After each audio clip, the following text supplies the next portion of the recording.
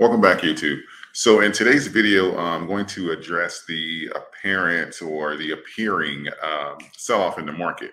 And also I'm going to address what the what we see going on with media manipulation when it comes down to these prices. Um, ultimately, um, I've been saying this for months. So those of you that follow my channel know this. The media controls the price in the short term.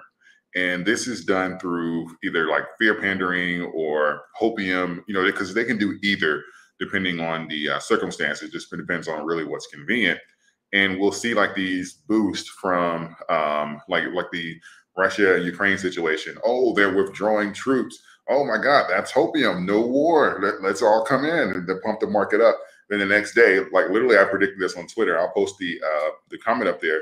And the next day, they'll come back and say, "Oh, nope, they actually added troops. Oh, more fear back in the market." And it's literally this yo-yo that gets created in the market we'll see these types of moves in Bitcoin as well. We have these um, catalysts and this hopium getting pushed up and saying, oh, Bitcoin is going to rally to an all-time high.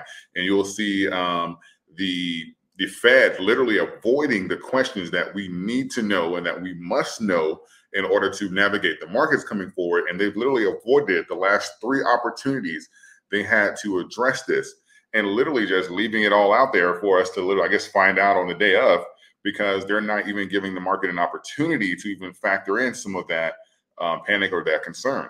And don't get me wrong, I'm not a bear. Um, I do believe over time the market will appreciate. And I think that a lot of these coins, especially the ones that we discuss here on the channel, are going to reach all time highs.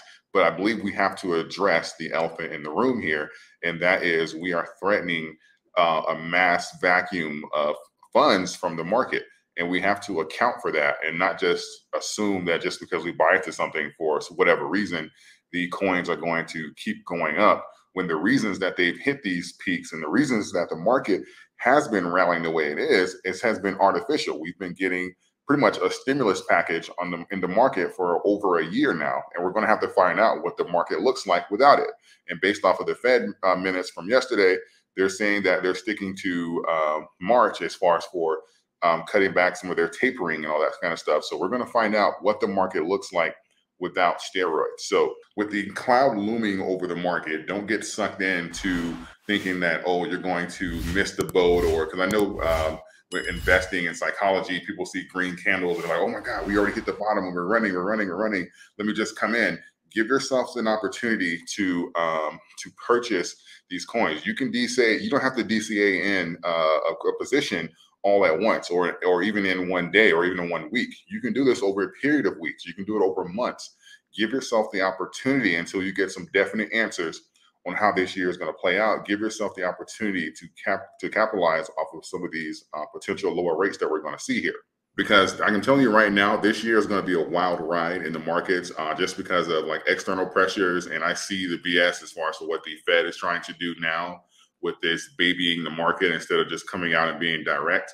Um, I can see that this is going to probably even play out longer than I anticipated.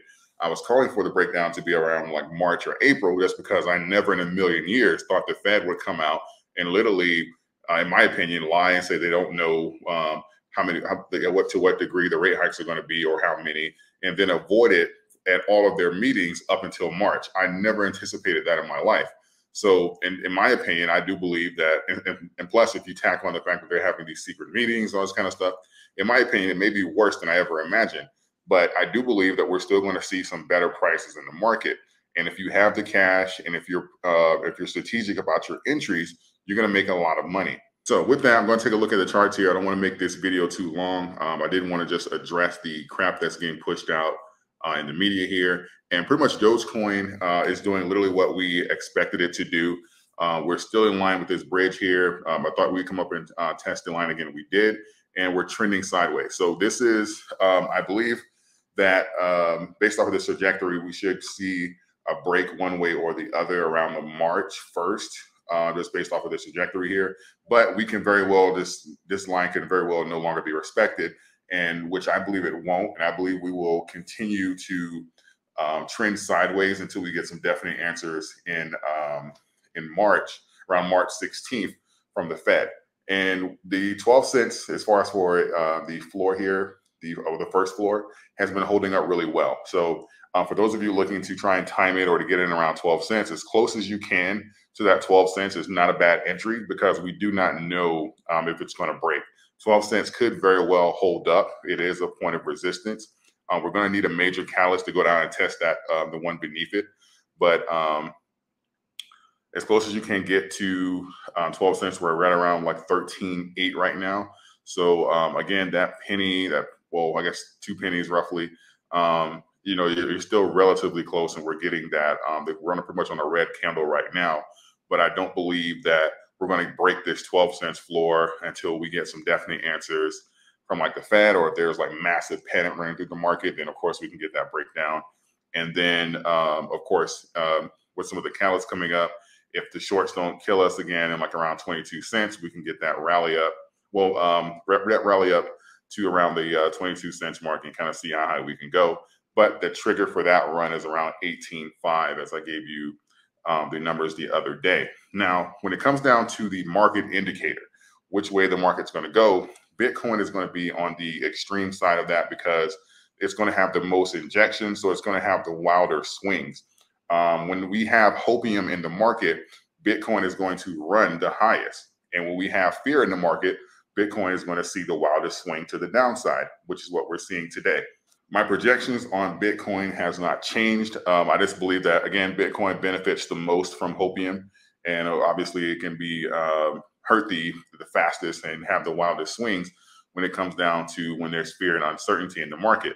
Um, I do believe that uh, we're probably going to get a few more um, bounces just from like media and all this type of crap that's coming out. But again, until we have concrete information, we have to assume that nothing has changed and just literally rule it as um, hopium. Let me switch over to uh, BTC here. And we have to look at this for what it is. And we've come up and pretty much uh, getting a rejection here off of the 72 day moving average. And I do believe that this is going to um, send us down into like the 30s again. I still have my projections that we're going to go into the 20s. Um, it's just a matter of when, because again, the Fed is literally tap dancing around any issue or um, concrete information that they can give us as far as how they're going to deal with the market overall. But we can see here that the uh, momentum as far as we're with Bitcoin is literally not surpassing, and we're really really struggling here. Um, we we got some breaks up above um, our previous um, pretty much this resistance line here. Um, but well, we got some breaks up above this previous uh, support line, but we also got some rejections here as well, um, right above the 72 day moving average. So um, for me, I know that you could have kind of predicted, okay, well, this is going to give us some bullish evidence as far as for it to go up and try and test like the higher 45s. But because of the catalyst going on, this is why I say the importance of laying macro over micro. That's why I don't fall for these green candles when they pop up. And I say that, okay, well, this is obviously just being pushed, but overall, long term, the fundamentals will take control of the coin. Short term, it can be manipulated. You know, you can create fake shares, you can pump a coin via media, an influencer can pump a coin, you can do it short term, but overall, the macros will give you the general direction of the coin. And until that changes, we are going to be in a downward trajectory. We can see these pumps. We can get another run. This can come down to 35. We can get another run back up to 40, 45. Doesn't change the elephant in the room. That is what I want my subscribers to gain from um, my channel is not being led by um, emotions with these green candles. So um, as far as when it comes down to Bitcoin, I personally um, you can, if you're increasing your positions, you can um, obviously continue dollar costing average in. You don't have to do so all at once, but I'm waiting for some of these lower prices that I believe will happen. I still believe Bitcoin is going to go into six figures, but I believe that we are on a trajectory here to have some lows when this uh, vacuum in the market happens. So we'll see how the Fed plays and if they're going to kick the can down the road because they may they may backpedal again like in 2018, and we may get a rally in the short term. We'll see. But um, it looks like they are trying to ease us into this um, restriction in the market. So we're going to have to see how the markets respond and what exactly their plan is, um, because they're certainly not sharing it with us.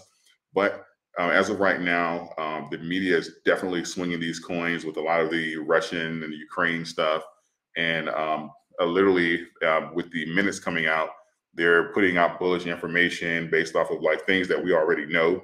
You know, stating like simple stuff like we expect inflation to go down and all this kind of stuff like. Yeah, everybody does. If everybody thought, if everybody really thought we were going to go into hyperinflation, the market would look nothing like this. I can guarantee it. But again, um, just be careful with the information you're getting and always overlap the macro with the micro and make sure that before you're going in on these positions really heavily, just kind of spread them out and overlap the macro and micro so that you can get a better idea. So I just want to provide you with that quick update. Um, don't forget to like, comment, subscribe to the channel if you want to hear more from me. Uh, also, I have a link to BlockFi in the description. If you open an account with them, you can get up to $250 in some of your favorite crypto, including Bitcoin and Ethereum. I appreciate all of you. Thank you. And until next time.